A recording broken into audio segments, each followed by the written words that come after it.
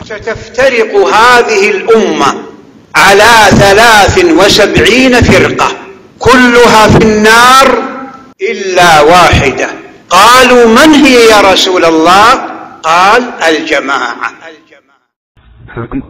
الخمسون آه، يقول السائل هل القلق والضيق من أسباب المعاصي؟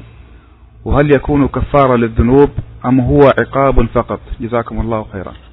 أولا يا بني أسأل الله أن يفرج عنك ما أنت فيه من ضيق وأوصيك بالدعاء وكثرة الاستغفار والاستكثار من قراءة القرآن والرقية. ولا نستطيع أن نقول هذا عقوبة